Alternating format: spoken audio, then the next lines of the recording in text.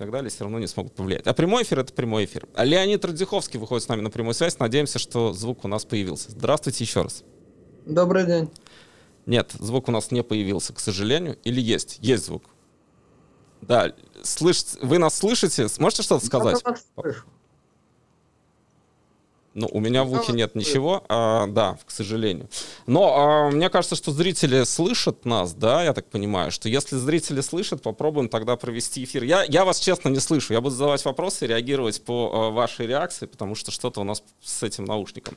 А, давайте начнем с визита Путина в Калининград. А, на ваш взгляд, для чего, почему он туда поехал? Понятия не имею. Я, во-первых, не думаю, что всякая, всякая поездка Путина имеет какое-то великое политическое значение. Ну, поехал и поехал. Вот. Но, кроме того, символически, видимо, он хотел лишний раз, может быть, он хотел лишний раз подчеркнуть, что вот Калининград – это русская земля, как будто кто-то в этом сомневается. Ну и так далее. В общем, назло вам. А что касается кортежа, было немцам, там вот как-то так. Ну, в общем, я, честно говоря, э, Толстой вот в «Войне и мире», в «Войне и мире» от имени Наполеона говорит, дрожание моей левой икры есть великий признак. Ну, я не думаю, что поездка Путина на один день это какой-то великий признак чего-то. А что касается кортежа, на ваш взгляд, э, вот эта история, когда он показательно остановился, это пиар, это какая-то, э, какое-то просто желание остановиться с кем-то поговорить? Для чего это нужно было сделать? Не знаю, по-моему, это вообще чепуха какая-то.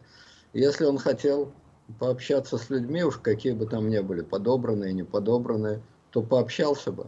Он остановился, насколько я видел запись, буквально на 2 или 3 секунды.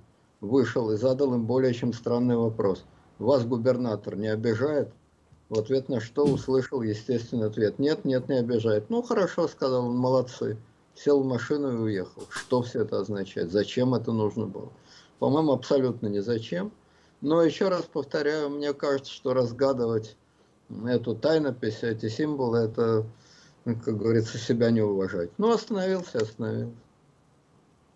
А, Еще вопрос. Э, наши зрители также спрашивают, как вы считаете, Путин понимает, что а, он а, проигрывает это противостояние с западным миром? И проигрывает ли он, на ваш взгляд, сегодня? Вот если подвести итоги полугода, вот, это, вот эти за эти полгода. Ну, я думаю, что на сегодняшний момент, если смотреть со стороны, так сказать, это ничья. Путину не удалось, не удался блицкрик, военный блицкрик на Украине. Западу не удался экономический блицкрик в отношении России. Российская армия, по-видимому, мне, как жителю России, запрещено комментировать военные действия, но то, что можно сказать, я думаю, даже мне, что, по-видимому, российская армия остановилась, и она вошла в клинч с украинской армией.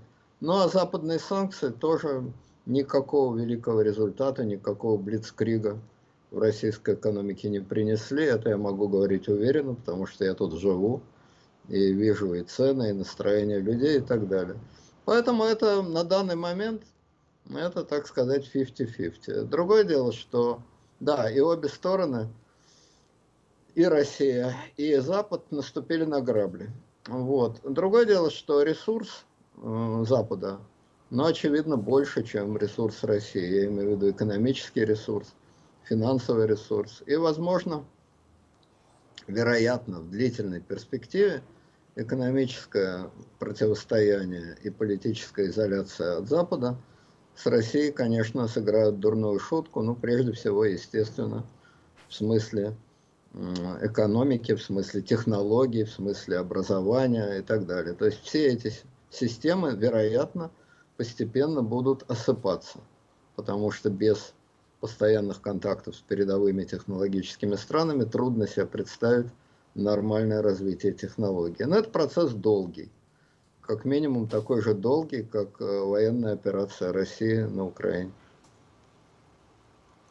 А, Еще вопрос э, про Горбачева. А, опять же, э, опрос, вопрос из нашего чата спрашивают. Вот то, что Путин поехал попрощаться с Горбачевым, но решил все-таки избежать похорон, это, во-первых, можно ли делать из этого какие-то выводы? И каково вообще отношение Путина к Горбачеву? То есть он насколько важная для него фигура?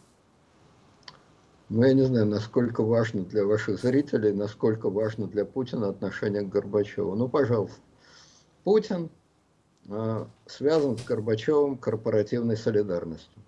Горбачев твой предшественник. Ну, не совсем, поскольку Путин все-таки не президент СССР, но в некотором смысле твой предшественник. И по отношению к своему предшественнику Путин, естественно, соблюдает корпоративную солидарность.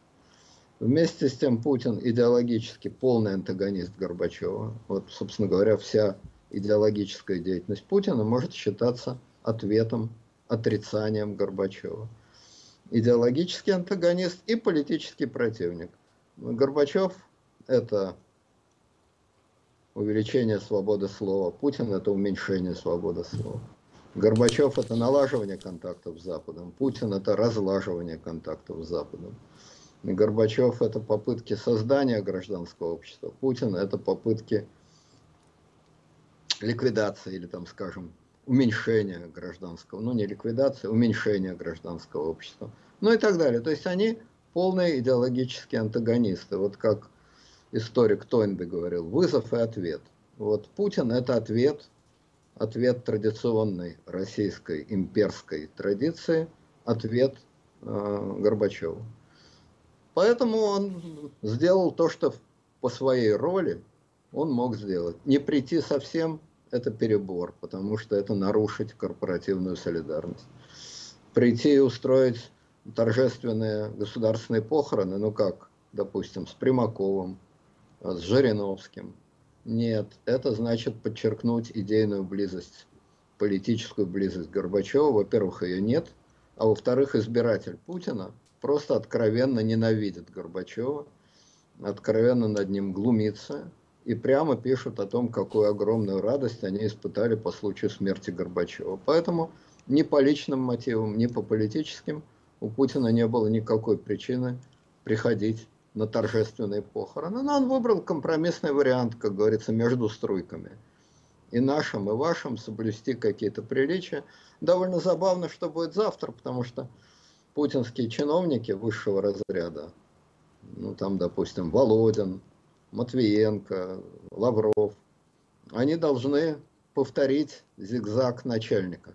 И какой-то дать, дать дань приличия, и ни в коем случае не показать, что им симпатична политика Горбачева. То есть утверждать и отрицать в одном флаконе. Посмотрим, как они этот номер на канате исполнят, насколько ловкости у каждого из них хватит. Вопрос от Анны. Она спрашивает, соревнование по картингу было отменено в Крыму и перенесли в Грозный из-за участия внука Путина. Насколько ему это дорого? Ну, вот такой вопрос. Ну, видимо, насколько ему дорог внук. Абсолютно недорого. Я понятия не имею, кто такой внук Путина. И ни малейшего представления об этих соревнованиях не имею. А, Еще спрашивают про а, возможно, вот то, что а, Большая Семерка договорилась э, ввести потолки на цены нефти, на, на нефтяные цены из России, это может как-то ударить по экономике Владимира Путина? Ну, мы можем за этим следить. Сегодня российский рынок, узнав об этом решении, значительно подскочил, и лидерами роста стали акции нефтяных компаний, тех самых, против которых вроде бы эта санкция направлена.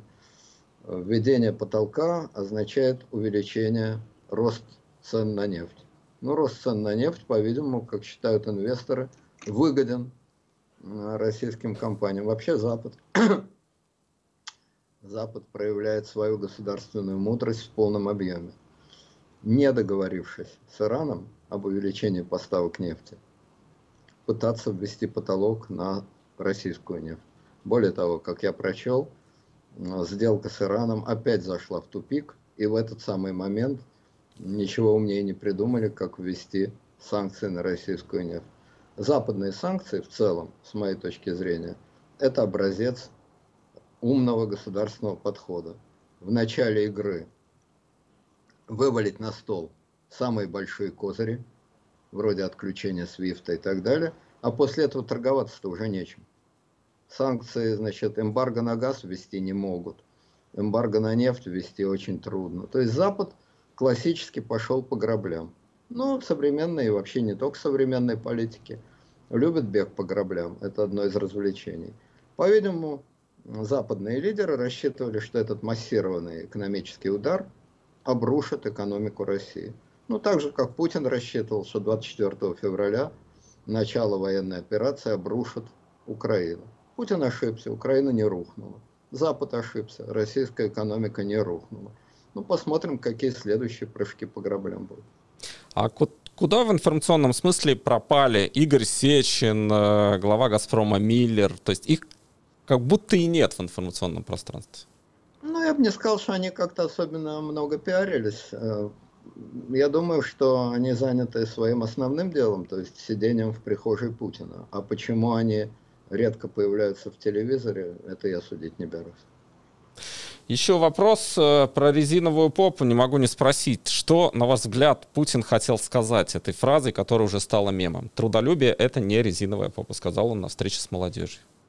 Ну, он сказал, что трудолюбие — это большой талант.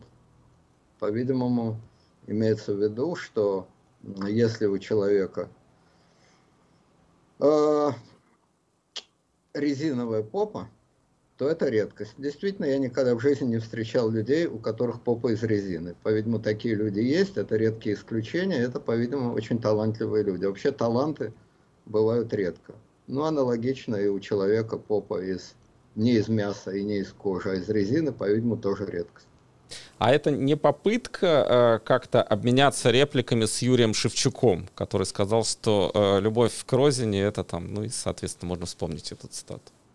Ну, вы знаете, это очень изощренное толкование. Ну, все может быть. Я вообще не так глубоко умею проникать в мысли Путина и не так хорошо их читаю, как многочисленные аналитики. Но может быть и так, конечно. Ну что ж, спасибо вам большое и просим прощения, что вначале были технические неполадки, но мне кажется, у нас получилось с вами поговорить, хорошо. даже несмотря на то, что первую часть интервью я не слышал, а вторую все-таки уже слышал хорошо. Спасибо вам большое за это. Это не резиновая попа, единственное, ну, что я могу сказать. Это более простая вещь, но иногда тоже есть проблемы. Да, спасибо, спасибо вам большое э, за э, то, что э, приняли